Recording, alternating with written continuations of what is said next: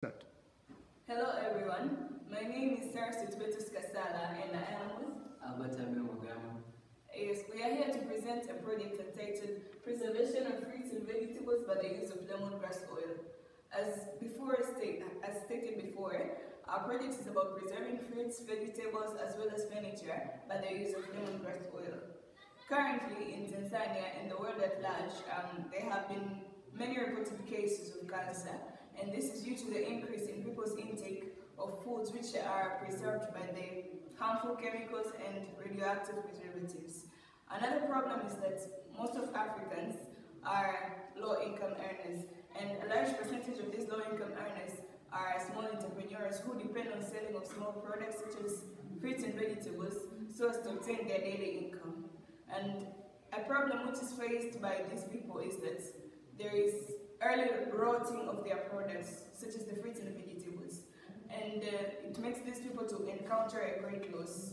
And uh, there is also a problem which is facing the people living in the rural areas who cannot afford to build their houses out of bricks. Instead, they decided to build their houses out of wood. And uh, their houses have been frequently attacked by wood-eating insects, such as the termites.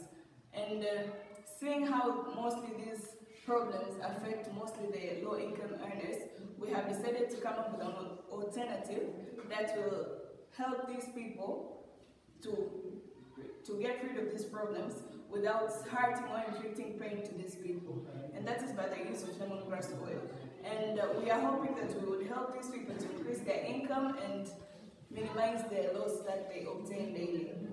Uh, by the use of different methods, including field observations, interview, questionnaires, uh, and also laboratory experience, we obtained the following results.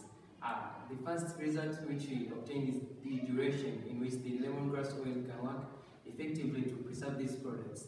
Uh, considering uh, banana as an example of uh, our experiments, as can be seen from the photos here, uh, the lemongrass oil was able to preserve this banana for about 8 to 10 days without getting rotten. Uh, uh, the another result which we obtained are the different components which are present in the lemongrass oil. Uh, through literature review uh, of different uh, journals which were written by different people who conducted their uh, experiments, uh, there are some components such as citronella, uh, myrcene, gener gener geranyl acetate, nerol, geraniol, and limonene.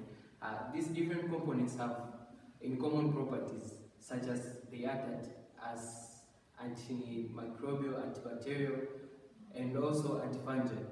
Uh, this, by working together uh, of these in common properties, they, they are able to preserve and prevent uh, such microorganisms, including bacteria, which may cause the rotting of the fruits or vegetables.